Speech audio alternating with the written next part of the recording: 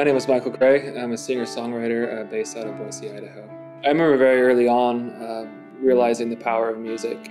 I grew up in a Christian home, and every Sunday we would go to church. And I remember uh, hearing these songs of celebration and very upbeat songs, and seeing how people responded to them and how it changed their mood. And songs that were more somber, people became more introspective. Realized very early on that music has the power to change someone's mood or even change their life.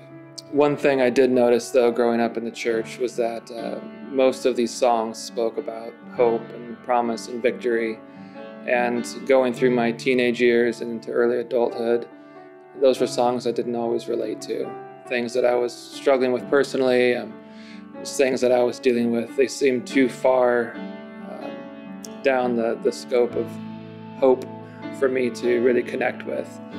And I always wondered why there weren't more songs that just dealt with the struggle that is to be human. And um, somewhere around sixth grade, I began to write songs. Um, well, I tried to write songs.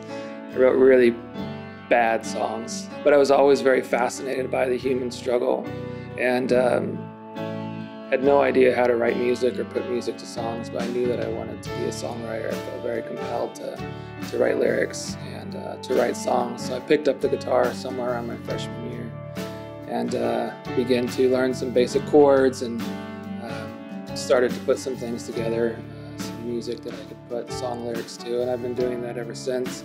So I had a very hard time um, through different times in my life connecting with those songs of hope. And I found myself connecting and resonating more with songs that uh, just talked about kind of the human struggle, things like abuse or depression or just even heartache. Those were the things I connected with a lot. And I didn't connect with them because they reaffirmed how I felt, but I connected with them because I felt like I'm not alone. Someone out there gets this. This person who wrote this song, yeah, they, they know how I'm feeling. And I became very interested and intrigued with that concept. And the more I wrote, and as it became a little bit of a better songwriter, the more I kind of dove into just that human struggle The title of this uh, upcoming album is Songs for the Dying. And I realize that can sound a little bit depressing and sound like maybe it's sort of a very dark album. People could maybe argue that. I wholeheartedly disagree. Um, the concept is that in some ways we are all dying, or at least at points in our lives have been. Abuse, depression, addiction, loneliness, things like that that have brought darkness and, and death into our lives. And so these songs are for anyone who has experienced that. I truly believe that um, even if the genre of music isn't something that, that you would necessarily listen to on your own, that lyric-wise, content-wise, there will be something for just about everyone where they can say, yeah, I remember feeling that way, or yeah, this guy understands how I feel. And that's my hope with this album is that for people who necessarily aren't maybe ready for songs of hope, who aren't living beyond some of these things that they've dealt with and struggled with, that that they will find identity and that they will feel like, yeah, this this guy gets it. He knows how I feel, and I'm I'm not alone. So the exciting thing about doing this um, fundraising through Indiegogo is that you, my friends and family, and those of you who have followed my music and, and believe in it, is that you get to join me in the process. And I'm very excited about that.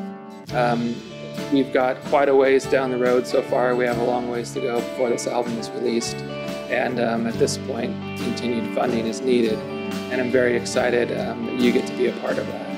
And there are a few ways that you can do that. One is that you can contribute financially to the campaign. Um, another way is simply sharing the message that this album is happening, whether it's through Facebook or Twitter or an email list, or send it along to a friend that you uh, feel may benefit from hearing the content of these songs. Uh, whatever it is, spreading the word is a huge part of this, and um, that alone um, would be incredibly helpful. So thank you for however you choose to be a part of this. Uh, I really appreciate it, and um, we'll see you soon with an album.